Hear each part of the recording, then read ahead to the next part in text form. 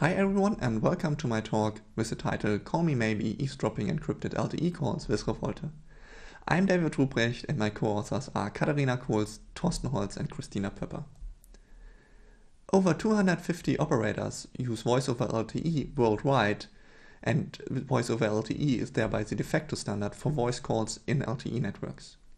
Using Voice over LTE has many advantages for providers and users. Voice over LTE have a low call setup time, a better voice quality um, with high definition voice. And for operators, it's more efficient to use voice over LTE in their network. The question we are going to answer today is, are voice over LTE calls also more secure against eavesdropping?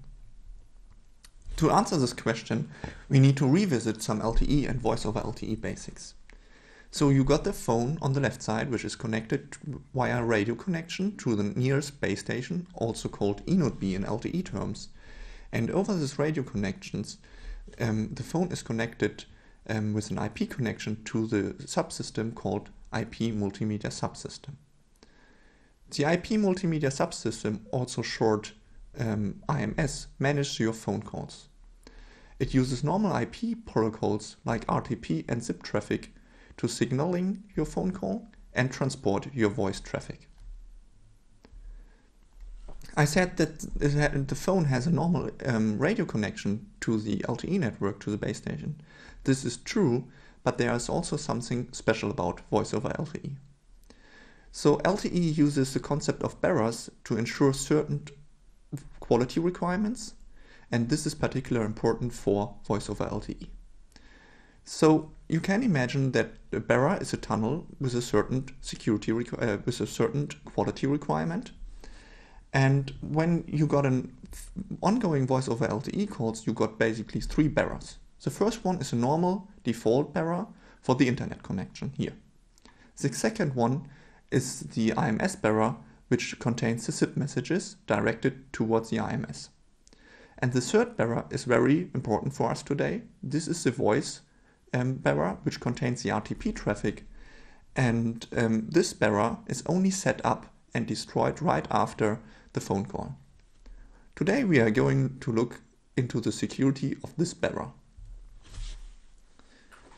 To encrypt traffic, LTE uses a stream cipher, um, which basically generates a key stream block that is then XORed towards the plaintext block and then um, which results in the ciphertext. This ciphertext is sent over the air to the base station. Um, as input parameters for the encryption algorithm, for example AES and counter mode, we basically have three, uh, five input parameters. First of all, there's a key. This key is um, the normal user traffic key used in LTE.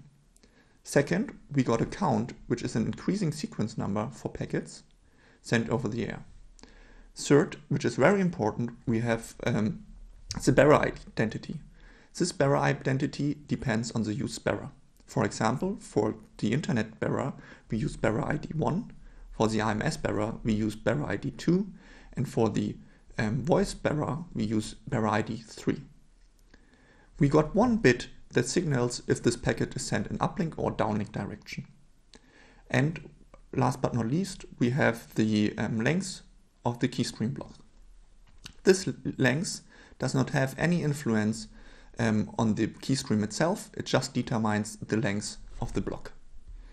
Which is important to note is that the same input parameters generate the same keystream because everything is deterministic in here. And the same keystream can result in the in, in keystream reuse. And as we all know, keystream reuse is always a bad idea. So for example, if you have two ciphertext here, and XOR these two ciphertexts are encrypted with the same key stream and you XOR them, this would result in the XOR of two plaintext, plaintext R XOR plaintext B. Under the assumption you know one particular plaintext, for example plaintext B here, you can XOR it and this would result in the decryption of plaintext A. So consequently, keystream reuse allows decryption under the assumption you know one plain text. And this is something we exploit for ReVoLTE, because ReVoLTE stands for reusing encrypted voice over LTE traffic to eavesdrop calls. So in which situation can a keystream reuse occur during this VoLTE setup? So basically we got three input parameters that um, are changed over time. So the direction is fixed and the length is something we cannot influence. So first of all, when is a key renewed? The key is renewed every time your phone connects to the closest base station. So when you are got um, an active radio connection. As long as this radio connection is valid, also the user plane key is valid.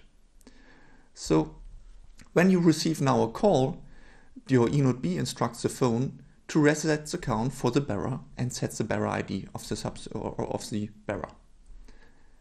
And the problematic case is when there's a second call, which also um, in which also the eNodeB instructs your phone to reset the count and sets the bearer ID. The question is if this bearer ID is the same as in the first call and or are they increased? So this is something we tested. Um, in total, we tested 15 eNodeBs, mainly in Germany, but also in South Korea. We tested a wide um, geographical distribution, which is important because providers to tend, tend to deploy their um, one vendor in one particular region. And we basically find two kind of behaviors. The first behavior is that the eNodeB increases the bearer ID. Three of the tested eNodeBs increase the bearer ID. However, we also find 12 um, eNodeBs that do not increase the bearer ID, which results in the reusing the same, key stream for two kind um, for two subsequent calls in one radio connection. So how does a ReVoLTE attack concept look like? So we have two parties. First of all, we have Alice on the left side, and on the right side, Bob. Both perform a target first call, which we call target call. And during this target call, the attacker is already active and sniffs um, the traffic which is over the air transmitted from Alice to the base station. And um, the aim of the ReVoLTE attack is now to decrypt this first target call. So he sniffs it and immediately after the phone call is finished, which he can detect on the radio because the bearer is tiered down, the attacker calls Alice. And this call um, is particularly important because it allows us to generate the key stream which is also used in the first call. So we know the plaintext which we sent to Alice and we know the um, ciphertext and both allows us to determine the key stream and then the, and this particular key stream is also reused in the first target call.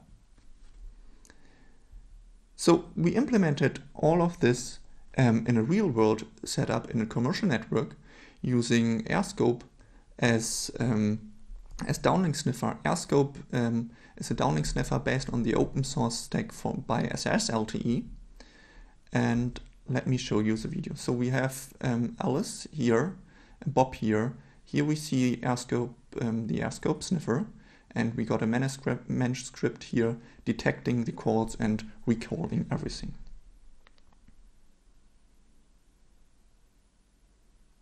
Emma by Jane Austen Volume 1, Chapter 3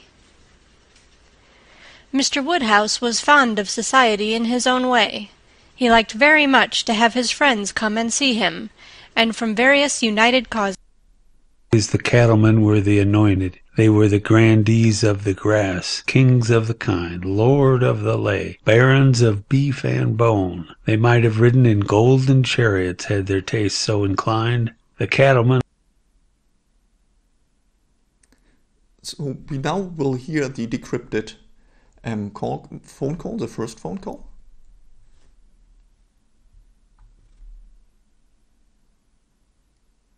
Mr. Woodhouse was fond of society in his own way. He liked very much to have his friends come and see him, and from various united. As you can see, we successfully decrypted um, the first phone call based on the um, key stream re recovery of the second call. And why is this possible? This is possible because of the implementation flaw by some vendors. And I have to admit that the specification in this case is not really clear. Basically, you got two kinds of specification. And there's a security specification which um, um, contains the security requirements, and there's a protocol specification. And only the security specification um, says few sentences about the risk of keystream reuse. So we responsibly disclosed this vulnerability via the GSMA CVD program, and we achieved two kind of things. First of all, um, the specification now includes test cases um, that allow um, yeah, to detect the ReVoLTE vulnerability.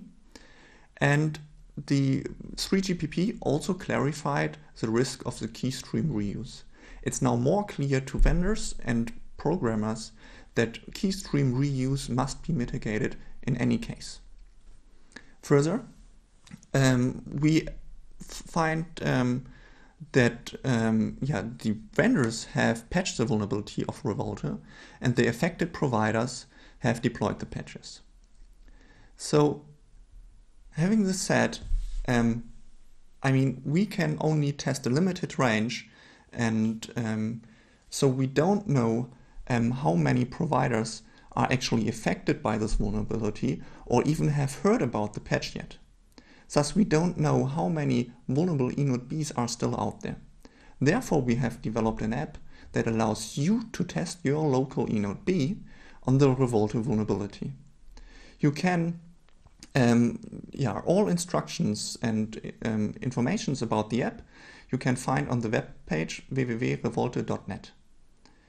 Um, if your eNodeB B is vulnerable, you can share the information with us and we will contact the responsible provider with the help of the GSMA um, to fix the problem. In this way, we ensure together that this vulnerability is patched and, and wiped out. This is uh, how I would like to end my talk. Thank you for listening and I'm happy to take any questions.